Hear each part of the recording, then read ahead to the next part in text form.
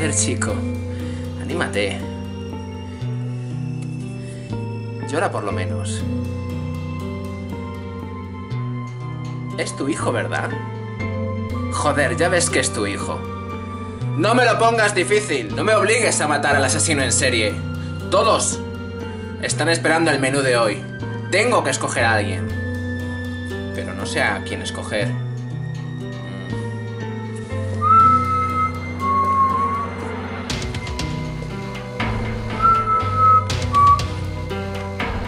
Ha ocurrido una cosa.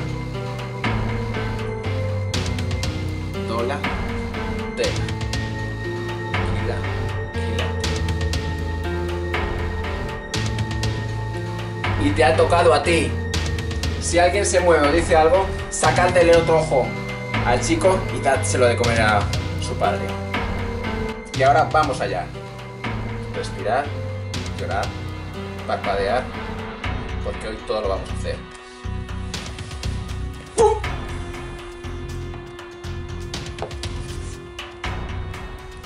Joder, vaya. Aguanta como un campeón.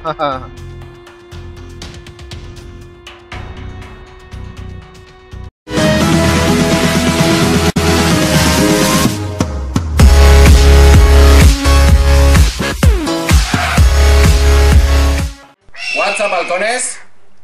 A hypear. Yo soy Negan Yo soy Carl.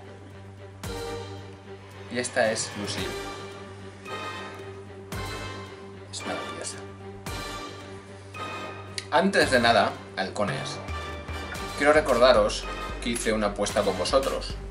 En los anteriores vídeos dije que yo no mato ni a Glenn ni a Daryl.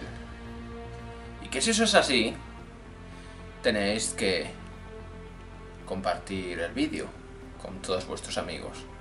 Bueno, ahora la apuesta se ha hecho más grande. Y ahora apuesto mi barba y a Lucille a que Negan, es decir, yo, no mato ni a Cal, ni a Glenn, ni Daryl. Si mata a estos, a alguno de estos tres, en octubre, yo me afeitaré la barba y a Lucille la regalaré a cualquiera de vosotros. Pero bien, si no mata a ninguno de estos, tendréis que compartir el vídeo con todos vuestros amigos. Trato hecho. Vamos allá. Hoy, en el vídeo, vamos a explicar por qué yo no voy a matar a Cal en cinco motivos. Vamos con el primero. Antes del golpe, yo, Negan, he soltado una frase. Voy a leerla textualmente. Si alguien se mueve o dice algo, sacadle el ojo, el otro ojo al niño y dádselo de comer a su padre. Esto obviamente es una amenaza, ¿vale? No significa que vaya a matar a Cal, sino que estoy amenazando. Si alguien se mueve, yo ahora voy a matar a alguien y si alguien más se mueve, a Cal le sacaré el otro ojo y se lo daré de comer al padre. Por lo tanto, al ser una amenaza, no estoy delante de Cal, estoy delante de de otra persona. Vamos con la 2. La última frase que digo es se lo está tomando como un campeón. ¿Qué significa esto?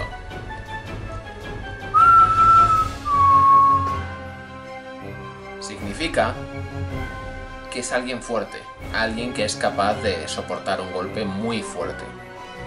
Con toda la fuerza que tengo yo, Negan, con este golpe, si fuera Cal, directamente le hubiera tumbado al suelo. Por lo tanto, con este motivo también dejo claro que no es Cal. Vamos con la 3. Trabajar. Exacto. Ahora el grupo de Rick trabaja para mí, para Negan. Y ahora todo me pertenece a mí, me pertenece a Negan. Mi único propósito es que el grupo de Rick trabaje para mí. Si matara, en verdad, a Carl haría de Rick un mártir y por lo tanto ya no me valdría. Vale. Quiero matar a alguien para que sepan las nuevas reglas de este mundo y por eso elijo a otro personaje, no a su hijo. Vamos con la 4. El cómic. Como bien sabéis, en el cómic, Lucille mata a Glenn. Y en el cómic, como bien sabéis, Carl es bastante importante. Porque luego él y yo, ya sabéis, nos hacemos más que amigos. Entonces, como la serie, en la trama, va mucho en relación con el cómic, por ese motivo, Cal es muy importante y no lo puedo matar ahora. Luego tiene un papel muy importante, como ocurre en el cómic. Vamos con la 5.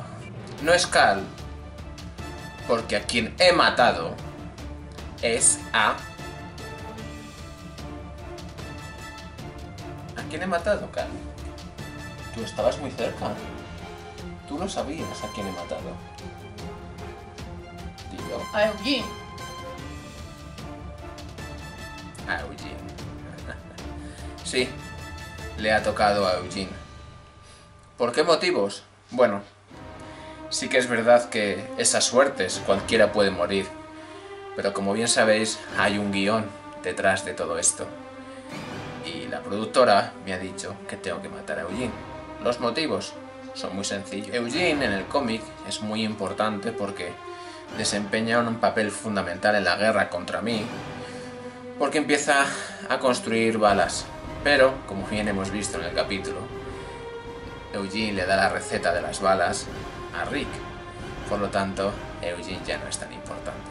Además, Eugene, como bien hemos visto, se despide de, Abraham y de Rick de manera muy emotiva.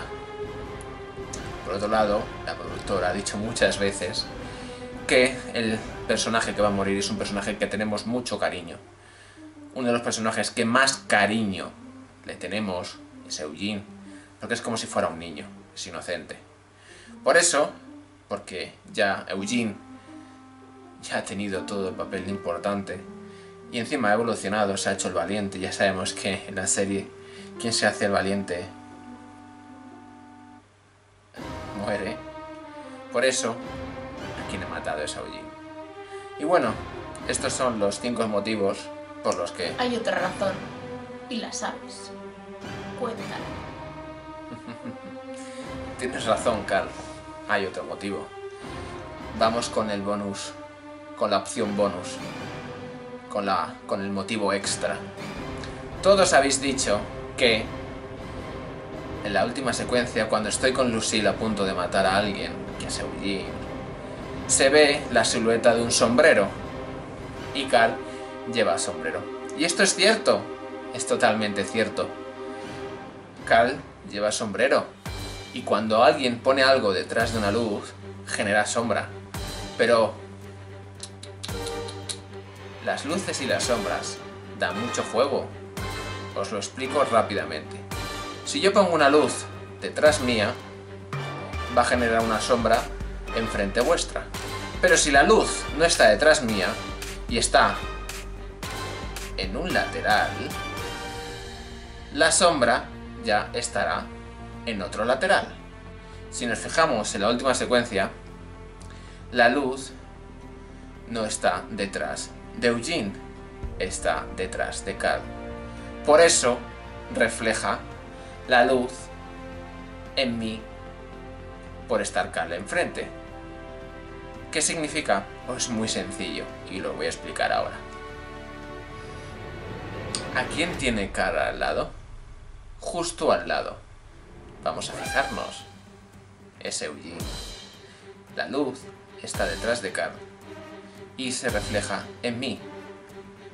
Por eso, a quien mato es a Eugene. Porque Eugene está al lado de Carl y la luz está detrás de Carl. Creo que es muy sencillo. Bueno, halcones, la verdad que ha sido un placer estar un día en el canal de Hyper Halcón. Pero tengo bastante trabajo, tengo que seguir matando gente. Matando gente del grupo de Rick. Y tengo un papel importante que hacer, así que, bueno, yo creo que ya queda claro que Negan no mata a Carl. Negan, yo, mata a Eugene. Y quiero que este vídeo lo compartáis para que todo el mundo se entere. Que Negan, es decir, yo, mato a Eugene. Y ahora todo me pertenece a mí. Me despido. WhatsApp, halcones, a hypear.